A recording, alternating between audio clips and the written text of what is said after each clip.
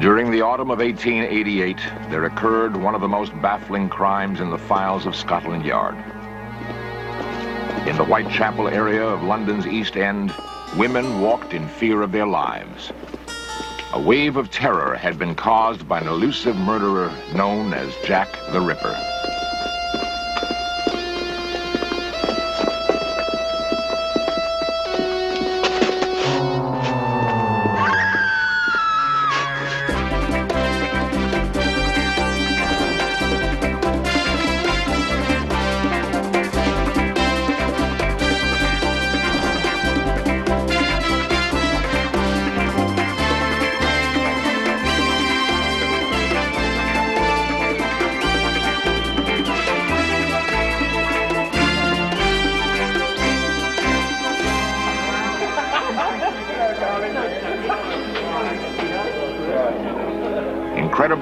The Ripper always did his work near potential witnesses, and even the police themselves. Why was he so bold? New evidence now indicates that his true identity became known to the authorities, but strangely, was to be kept a secret.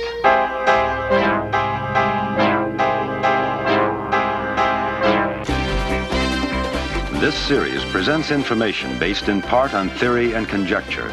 The producer's purpose is to suggest some possible explanations, but not necessarily the only ones, to the mysteries we will examine. London, the center of the Victorian Empire, on whose colonies the sun never set. The home of kings and queens, of magnificent monuments that only a thousand years of royalty could build. But it was also a city of cruel paradoxes. No one knows how many vagrants wandered the East End streets attempting to eke out an existence. Jack London called them the people of the abyss. Poor, miserable human beings clinging to the garbage heap of life. Against this backdrop would be played one of the most provocative unsolved crimes of the 19th century. Investigations continue to this day, with growing evidence that while Jack the Ripper's victims were from England's lowest class, his deeds directly affected many of the most powerful people in the land.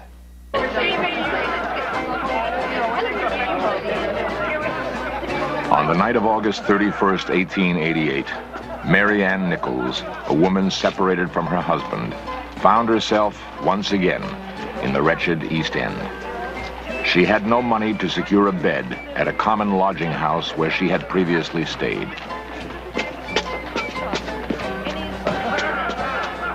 She pleaded, begging for a free bed.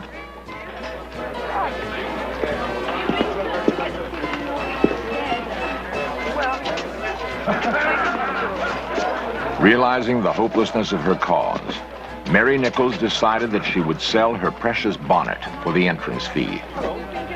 Less than one and a half hours later, she became the first victim of Jack the Ripper. Wendy Sturgis, a BBC reporter, researched the murders. The overcrowding that happened was, was rife. People didn't normally live in a house. They had a room in a house, and possibly five or six people in their family lived in that room. There were times when people didn't earn any money whatsoever. So they would live in what were called doss houses or common lodging houses, which costed a lot of money. And there, people were drunk and didn't have any food. They drank gin. Gin cost a considerably little amount of money for a colossal amount of gin. With the overcrowding and with the drunkenness, there was no privacy. Once you're drunk, you lose all sense of yourself and your own character. You lose your pride, basically.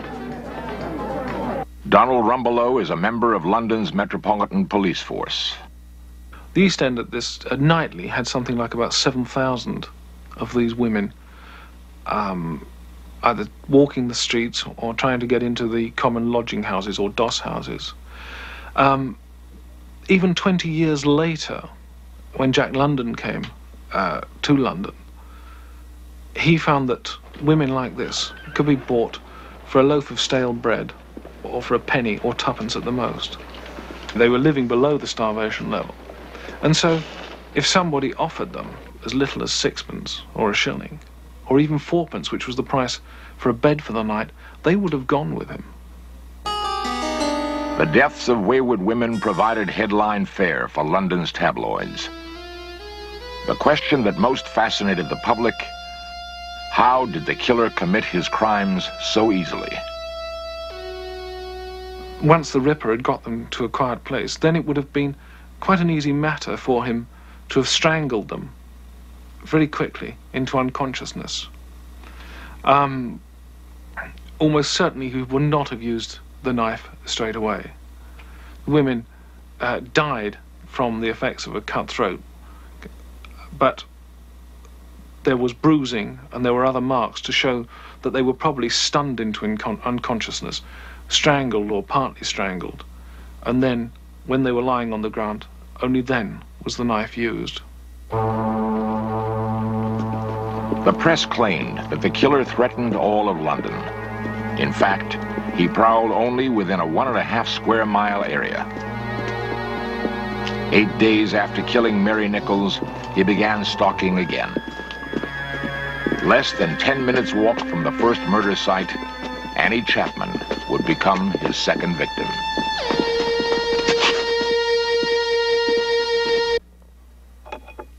Somehow, the psychopathic needs of the killer were not being satisfied. He then etched himself in history by being the first murderer to send crazed, rambling notes to the press, taunting the police, chiding them, daring them to capture him. Dear boss, I keep on hearing the police have caught me, but they won't fix me just yet. I have laughed when they look so clever and talk about being on the right track. That joke about leather apron gave me real fits. My knife is so nice and sharp. I want to get to work right away if I get a chance. Keep this letter till I do a bit more work. Then give it out straight. Providing police with clues to his real identity became a game. He began giving all too accurate predictions of his next plans, and finally, he invented a name for himself Jack the Ripper.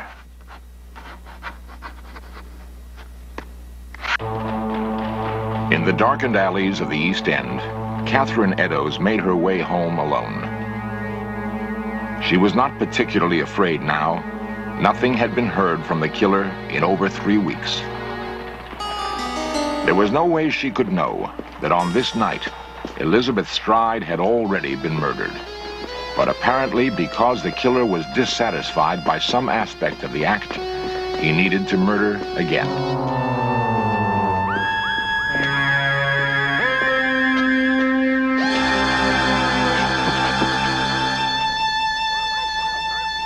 Another example of the way his disturbed mind was working.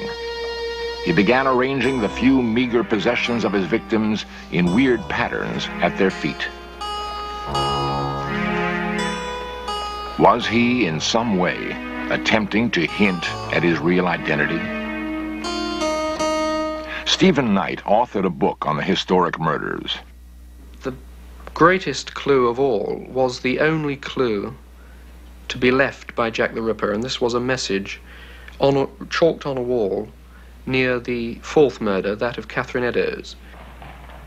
The hastily chalked message was cryptic and mysterious.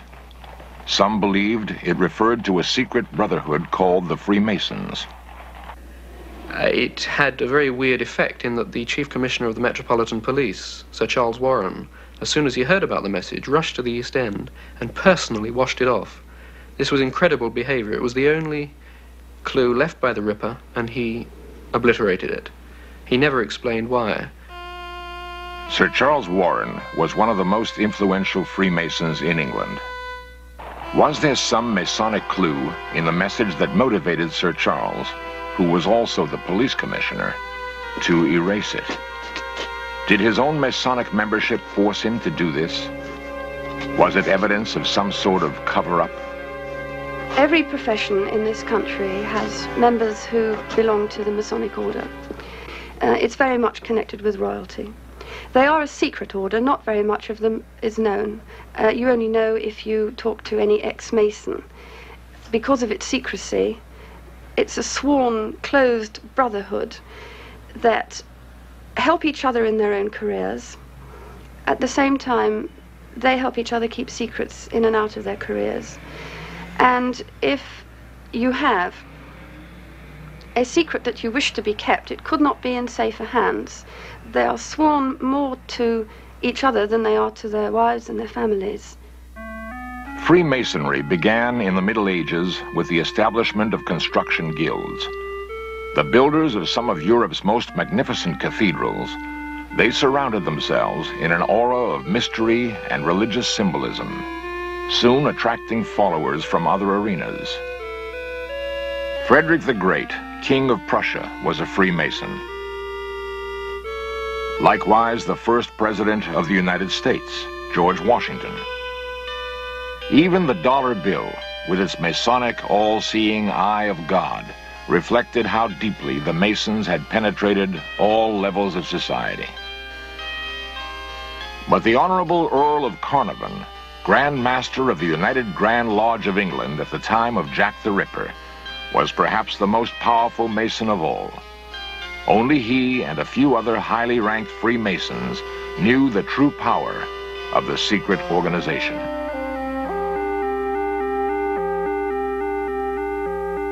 The basic tenet of Freemasonry is secrecy. And to protect this, Freemasons say in their ritual that they will go to any lengths nobody is really expected to take this seriously. It is basically pantomime. For instance, in the first degree of Freemasonry, that of the entered apprentice, an initiate swears to have his throat cut from left to right if he betrays Masonic secrets. He also agrees to cut the throat of a fellow Mason from left to right if he betrays Masonic secrets. Um, this is meant to be purely ritual and pantomime. But in the case of Jack the Ripper, a leading Freemason took the various brutal oaths of Masonry absolutely literally and carried them out. Was Jack the Ripper a high-ranking Freemason? To find the answer, In Search of cameras would have to explore the world of English royalty.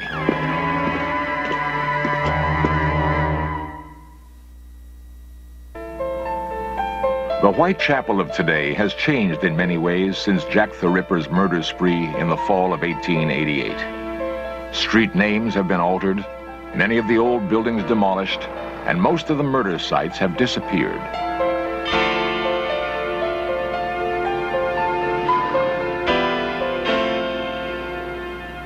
The interest and fascination with Jack the Ripper lives on, however, despite the absence of most of the physical evidence including files that were supposedly tucked safely away in the secure vaults of Scotland Yard. Dr. J.M. Cameron, chief pathologist of the Home Office, has dealt with the problem of these sketchy files while pursuing his own personal investigation. I feel that uh, any police officer uh, nowadays would be disgusted with any of his juniors or the pathologist uh, if they were to submit reports as we are led to believe were submitted in the Jack the Ripper cases. There have been many views and passed as to who it could have been, whether he was a medical man or had med- medical knowledge, or whether they had uh, any knowledge as to, say, a butcher or a, a fishmonger. Uh, there is no evidence in any of the photographs that I've seen of the victims which would lead me to believe that he was a doctor, because if he was, uh, or if he were to be, he should have been struck off the medical register because of his technique. On reviewing all the cases, it is obvious that the majority of the assaults took place from behind. None were heard to scream other than one. This assault from behind is not uncommon even today, particularly by an impotent male using the knife as a phallic symbol. Despite all of the theories filling the tabloids, the public was in no way prepared for the description of the killer's last murder. Marie Jeanette Kelly was killed inside her living quarters, and it was obvious to the police who found the body that the barbarity of this particularly vicious act far exceeded anything that Jack the Ripper had previously exhibited.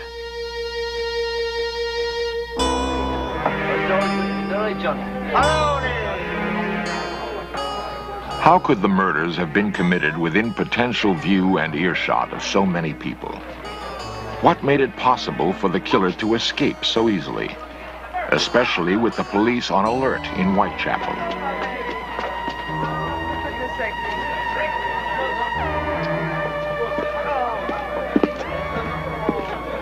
If it had been a person, a man, for instance, or a woman from that part of, of London, a working class person who lived in those overcrowded conditions, there's really little chance that he would have got away with it. A man roaming the streets covered in blood, going into a common lodging house, would have been seen by his fellow people. He would have been spotted by his own kind. If you think of it as being a middle class person, then essentially you're up against the same problems because the middle class person would either have come from Whitechapel or the environs or have come outside Whitechapel and would needed transport. They would have had to hire a hackney carriage, and a hackney carriage would have had a driver who would have seen a man covered in blood running away from the East End in a hurry. So we felt it was more than likely to be a moneyed person, an aristocrat, fairly high up in some sort of government, who had this ability to remain anonymous, this ability to run away in a hurry. Nevertheless, Scotland Yard thought John Pizer, an obscure little man commonly called Leather Apron, was a possible suspect. Also on their list, Dr. Neil Cream and George Chapman, both professional murderers at large with a history of wife killing. Also, Montague Druitt, a ne'er-do-well lawyer and teacher, supposedly going insane, who came from a long line of medical doctors. And finally, the unstable Duke of Clarence, second in line to the throne, who was studying art in Whitechapel at the time of the crimes. Some theorize today that for the murderer to repeatedly escape, there probably was a conspiracy involving Buckingham Palace. Queen Victoria, the matriarch, the power of England, now sat on an uncertain throne, her monarchy shaken by disloyal colonies and scandals from within. Her eldest son, first in line to the throne, who would later become King Edward VII, had embarrassed the Queen with his less than discreet private life. His son, the Duke of Clarence, was rumored to be going slowly insane as a result of syphilis, contracted when he was 16. Some thought one more family scandal would be the last necessary ingredient to bring down the entire empire. Further evidence supporting the royal family involvement. Sir William Gull, the personal physician to the Duke of Clarence, was seen rushing along the Whitechapel streets on nights that many of the murders occurred. Why was the good doctor in the rough East End late at night? The police questioned nearly everyone, but they were actually searching the area for a well-spoken man of medium build, fair complexion, between 20 and 40.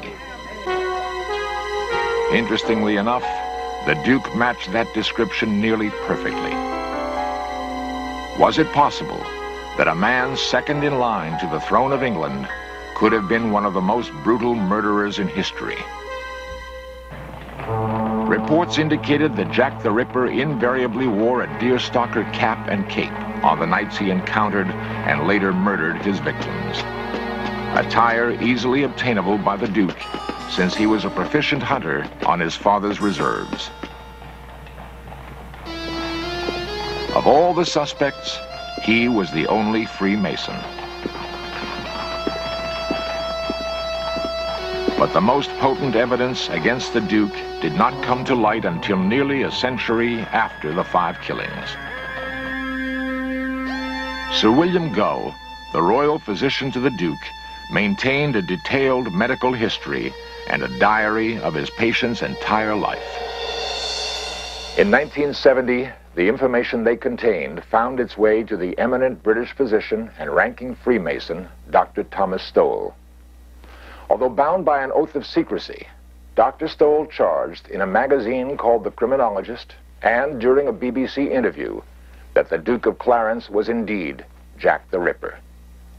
Strangely enough, seven days later he recanted in the London Times, and within a week, he was dead. Two days later, his son reported that the family had burned all the doctor's files in the Jack the Ripper case. The only real evidence that linked the Duke of Clarence to the crimes had been destroyed. The Duke of Clarence died four years after the Whitechapel murders. These years spent in medical confinement. No public reason for his death was ever given. Today, Englishmen and foreigners alike might find it difficult to believe that the identity of Jack the Ripper was known and covered up for political reasons. Nevertheless, recent evidence suggests this theory of government conspiracy is not beyond the realm of possibility.